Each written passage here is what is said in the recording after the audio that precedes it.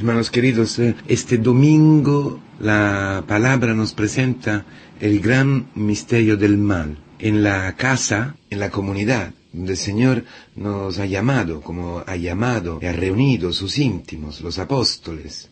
El Señor nos explica el misterio de la iniquidad, el misterio del mal. ¿Desde dónde viene el mal? ¿Por qué mi hijo sufre? ¿Por qué yo estoy sufriendo? Un enemigo ha hecho eso. Un enemigo ha sembrado en el mundo, que quiere decir en los corazones de los hombres, una semilla malvada, la cizaña. Esta es la clave para entender lo que pasa en tu familia, lo que ocurre en la historia, las guerras, los asesinatos, el aborto y todo lo que tú quieras. En tu corazón, en mi corazón, el demonio ha sembrado y sigue sembrando una semilla malvada, una mentira. Dios no existe. Y si existiera, odia a los hombres. La mentira originaria, que ha dado origen al pecado original. Entonces, ¿Dios qué hace? Como te ama infinitamente, como ama a todos los hombres infinitamente, tiene que destruir la mentira del demonio y revelar lo contrario de lo que ha dicho el demonio. Tiene que revelar la verdad capaz de contestar y destruir la mentira del demonio. Y es exactamente lo que dice la primera lectura de la misa de hoy. Él manifiesta, revela su poder con la paciencia. Realiza, cumple su poder sin límites, con un amor sin límites. Él manifiesta su ser Dios con la misericordia, entregando a los hombres una esperanza que no puede ser destruida por nada. La esperanza en su amor, el perdón y la posibilidad de de convertirse, como decían los rabinos, que Dios antes de todo ha creado la conversión, la posibilidad de convertirse, la Teshua, de volver. Esto contesta y destruye la mentira del demonio, la cizaña, que crece en nuestra vida, crece al lado de la semilla buena que es la naturaleza divina, en la cual hemos sido creados todos. La misma imagen y semejanza con Dios en la cual el Padre nos ha creado el Señor en la casa, en la intimidad de la comunidad, nos abre su corazón y nos deja ver cómo Él ve a la historia, como Él mira a los hombres, como Él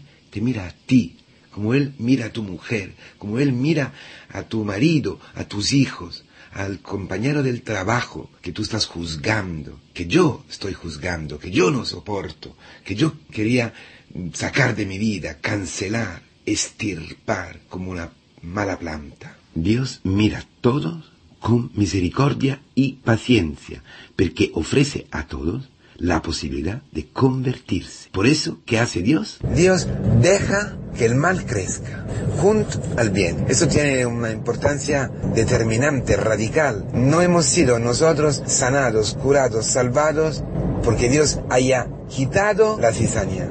El mal sigue todos los días circundándonos, atacándonos, agobiándonos, intentando ahogarnos. El mal está. Por eso este Evangelio, el, el extremo realismo de Jesucristo y de la iglesia. Estamos hablando del corazón de la iglesia. Nuestro Señor Jesucristo nunca se ha opuesto al mal yendo antes del tiempo a quitar de su campo la cizaña.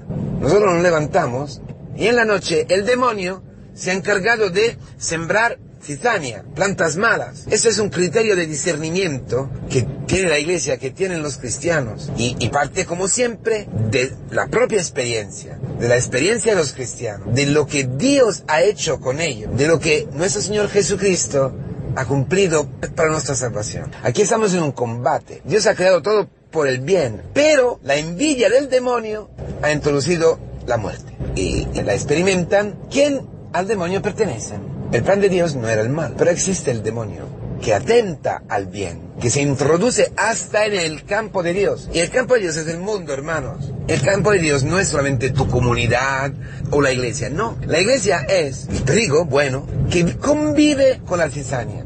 Tú eras cizaña, ¿verdad? La cizaña se había apoderado de tu corazón. Quizás hoy tu corazón está esclavo de la juicio, una mentira, una murmuración, lo que nosotros vivimos todos los días la falta de caridad hacia tus hijos, hacia tu pareja, dejar las cosas, no tener en cuenta las pequeñas cosas, no ser fieles en las pequeñas cosas, escaparte. Esa es toda cizaña, ¿no? ¿Y Cristo qué está haciendo contigo? ¿qué hace conmigo? ¿Viene y te arraiga? ¿Te destruye? No, porque el Señor sabe perfectamente el sufrimiento que supone el pecado. La cizaña crece al lado del trigo y el trigo sufre la presencia de la cizaña. Tú sufres por tus pecados, yo sufro mis pecados. Entonces, Cristo no te ve como malvado, ve en ti el trigo escondido, el trigo casi ahogado por la cizaña, pero no puede y no quiere estirpar, quitar, sacar la cizaña con el riesgo de sacar también el trigo. No puede, le quiere demasiado. Por eso tiene paciencia. Hasta que el, trigo sea trigo y pueda, al lado de la cizaña, pueda manifestar su ser buen trigo y la cizaña manifestarse como cizaña. Es decir, el Señor sabe bien que en el reino de Dios, en tu corazón, la imagen y semejanza de Dios, el tu ser criatura hecha, creada a imagen y semejanza de Dios, ha sido sembrada en el mundo, donde hay el mal, donde está Satanás, el demonio, la serpiente. Sabes perfectamente eso y sabes perfectamente tu debilidad y mi debilidad. Por eso es una semilla pequeñísima, el grano de mostaza, pequeñísima, porque tiene un poder inmenso que si está curado, si está cuidado, si está acompañado por la iglesia, por una iniciación cristiana seria, por un camino de conversión serio, por la madre iglesia que es capaz de gestar, de acompañar, de tener, de tener paciencia con este mm, pequeñísima semilla, muy débil, muy frágil, mm, que está ah, ah, agobiada, que está circundada por la cizaña, el Señor sabe perfectamente eso y sabe que si está cuidada, esta semilla tan pequeña, este grano de mostaza, va a crecer y va a llegar a ser un árbol impresionante, un árbol grande, fuerte, hasta que cuando extienda sus ramas, las aves del cielo puedan encontrar su nido. Las aves del cielo son los paganos, son los que no conocen a Cristo. Esa es la visión maravillosa que tiene el Señor de tu vida, de la vida del mundo, de la misión de la iglesia, de la misión de salvación, que ha sido la suya, porque Él es la semilla, el grano de mostaza sembrada en el mundo y ha muerto dentro de la tierra, pero ha resucitado y se ha convertido en un árbol maravilloso. Él, Él en la cruz ha extendido sus brazos y hoy, hoy en el cielo está extendiendo sus brazos y enseña sus llagas al Padre, intercediendo para ti y para mí, intercediendo para tu suegra, intercediendo por tu mujer, por tu hijo, por este compañero del trabajo, esta compañera del trabajo que está abortando, que quiere abortar, porque la cizaña la está agobiando, la está eh, destruyendo, como ha ocurrido a ti, como, como ocurre ¿no? en nosotros.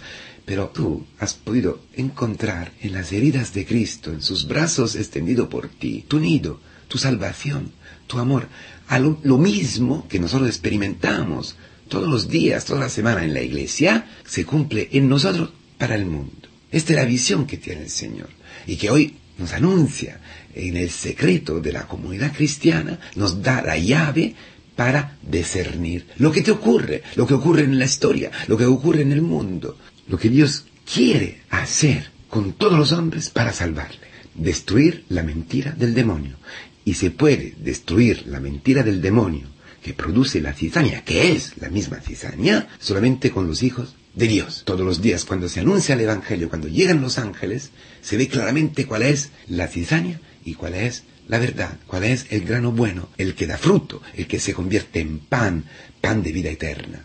Ha sido con Cristo cuando ha resucitado. Él es la verdad que destruye la mentira del demonio, porque en el grano bueno, que se parece, se parece mucho a la cizaña. Esto en Palestina, ¿no? Era así. Por eso el Señor coge ejemplo para enseñarnos. El Señor era un hombre. Por eso la gente dice, pero este, el Mesías, pero si es hijo de José, es hijo de María, es cizaña. Parecía, ¿no? Hacía los ojos humanos y carnales. 30 años, haciendo una vida normal y corriente. Pero en el momento tópico, el momento fundamental, cuando la cizaña le ha cogido y le ha ahogado, le ha matado, allí ha aparecido la verdad, la fuerza del amor de Dios, que puede destruir la fuerza de la mentira del demonio. Esta es la buena noticia, es el querigma que nos ha salvado, que se cumple en nuestra vida. El amor de Dios es más fuerte de la muerte. Es más fuerte del pecado, es más fuerte de la cizaña. El trigo bueno, la verdad, el amor, He venido a dar testimonio a la verdad, dice el Señor, y cumpliéndose en ti, porque tú experimentas en la iglesia, en la casa, cuidado, acompañado, amado por tu madre, nuestra madre, la iglesia, los catequistas, los presbíteros, los hermanos que nos acompañan, nuestros padres, que nos, hacen creer, nos hacen creer, eh, crecer en la fe, hace crecer esta semilla de la vida eterna, de la vida divina, de la naturaleza divina, en ti, en nosotros, en la comunidad, a poco a poco, mientras que crezca, revela la mentira del demonio. La iglesia en el mundo, los hijos del reino, los hijos de Dios, son testigos en el mundo de la verdad. Testigos y hasta mártires, porque entregan su vida, su sangre, extendiendo sus brazos y enseñando las llagas de Cristo, las estímulas de Cristo encarnadas en ti, en la cruz gloriosa, destruyen la mentira del demonio.